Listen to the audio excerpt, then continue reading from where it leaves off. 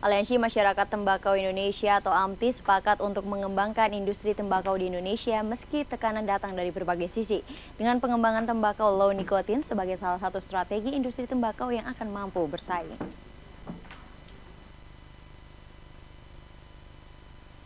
Selama ini industri tembakau bisa bertahan jika ada permintaan rokok.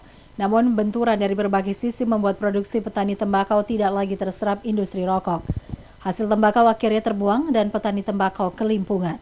Selain itu, berbagai persyaratan kualitas tertentu yang digunakan dalam membuat rokok serta beberapa tipe tembakau yang dibutuhkan tidak diproduksi di dalam negeri.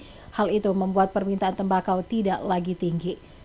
Karenanya untuk menyamakan persyaratan dari regulasi pemerintah, AMTI juga akan mengembangkan tembakau low nikotin di Jawa Timur. Ketua DPP Asosiasi Petani Tembakau Indonesia Abdus Setiawan mengatakan saat ini petani tembakau Jatim akan melakukan upaya penyediaan tembakau yang low nikotin. Dengan ketersediaan tersebut diharapkan bisa terserap oleh perusahaan rokok sehingga industri tembakau tetap bisa bertahan. Kalau di sini menurut menurut Pak Samsul sudah 70% low nikotin, tinggal 30%. Itu berarti berapa? gerakan. 70 persen? Uh, 100 ribu hektar di sini.